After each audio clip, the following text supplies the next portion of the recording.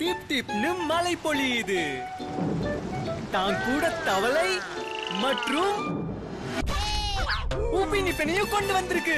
இங்க இருக்கிற பட்டாம்பூச்சியை பாரு நல்லா இருக்கு. மழை காலத்தை கொண்டாடுங்க உப்பினிப்பின் கூட.